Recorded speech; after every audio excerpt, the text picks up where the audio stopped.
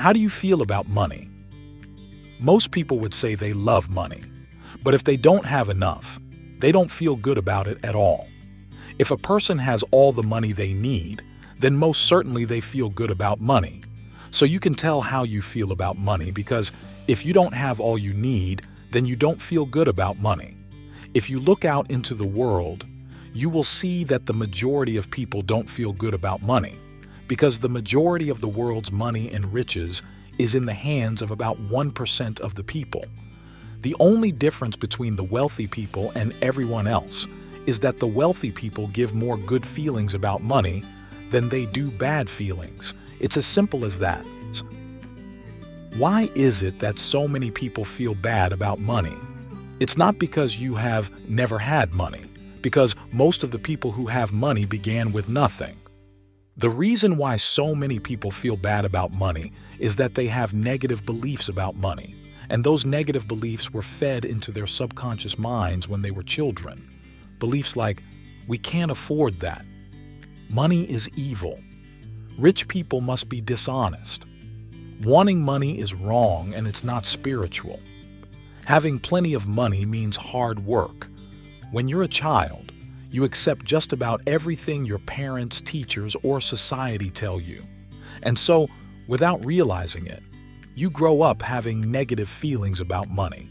The irony is that at the same time that you're told that wanting money is wrong, you are told that you have to earn a living, even if it means doing work you don't love. Maybe you were even told that there are only certain jobs you can do to earn a living that it's a limited list. None of these things are true. The people who told you these things are innocent because they were passing on what they believed and felt was true. But because they believed it, the law of attraction made it true in their lives. Now you are learning that life works in a completely different way. If you lack money in your life, it is because you are giving out more bad feelings than you're giving good feelings about money. You can see the law of attraction working when people win the lottery. They imagined and felt with all their heart that they would win the lottery. They spoke about when they win the lottery, not if they win the lottery. And they planned and imagined what they would do when they won, and they won. But the statistics on lottery winners show the real evidence of money sticking or not. Within a few years of winning the lottery, the majority of people have lost the money and are in more debt than before they won the lottery. This happens because they use the law of attraction to win the lottery. But even when they received money, they didn't change how they really felt about money, and they lost it all. The money didn't stick to them. When you don't feel good about money, you repel it. It will never stick to you even when you get some extra money you hadn't expected on receiving. In no time at all, you will find that it has slipped through your fingers. Bigger bills come in, things break down, and unforeseen circumstances of every kind occur, all of which drains you of money and takes it right out of your hands. So, what is it that makes money stick? Love. Love is the attracting force that brings money and love is also the power that makes money stick. It has nothing to do with whether you are a good person or not. That aspect of you is beyond any question whatsoever because you are far more magnificent than you realize. You have to give love and feel good about money to bring it to you and make it stick. Right now, if you lack money and your credit card debt is increasing, you have no sticking power and you are repelling money. The force of love can break through every single obstacle or situation. World problems are no obstacle for the force of love. The law of attraction operates with the same power whether the times are up or down. When you change the way you feel about money, the amount of money in your life will change. The better you feel about money, the more money you magnetize to yourself.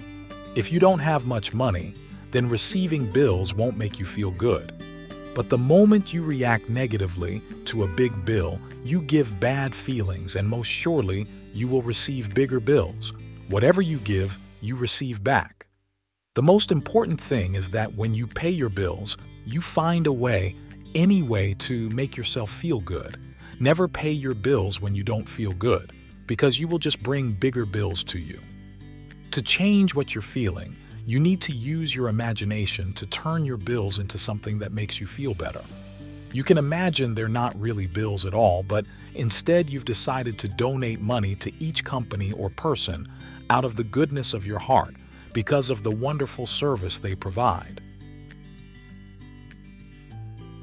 When you receive your paycheck, be grateful for it so it multiplies. Most people don't even feel good when they are paid because they're so worried about how to make their salary last. They miss an incredible opportunity to give love every time they're paid. When some money comes into your hands, no matter how little it is, be grateful. Remember, whatever you're grateful for multiplies. Gratitude is the great multiplier.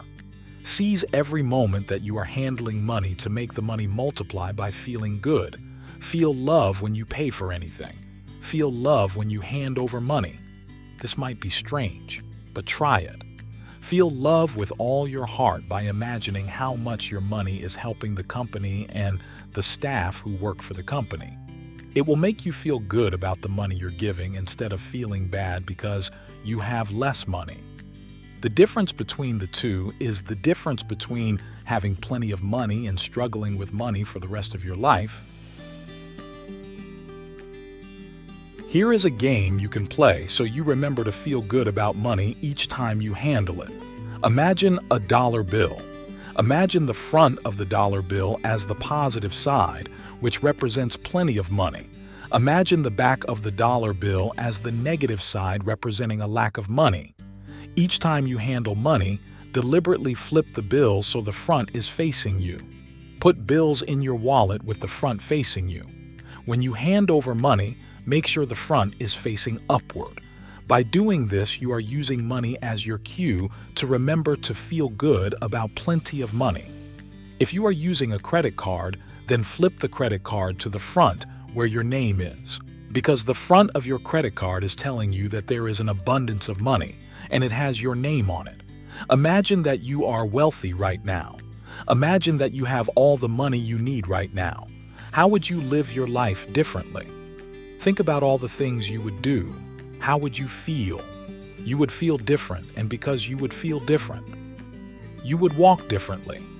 You would talk differently. You would hold your body in a different way, and you would move differently. You would react differently to everything. Your reaction to bills would be different. Your reaction to people, circumstances, events, and everything in life would be different because you would feel different. You would be relaxed. You would have peace of mind. You would feel happy. You would be easygoing about everything. You would enjoy every day without giving any thought to tomorrow. That's the feeling you want to capture. That is the feeling of love for money. And that feeling is magnetically sticky. If you think this video can help someone, please like and share. And don't forget to subscribe to our new channel.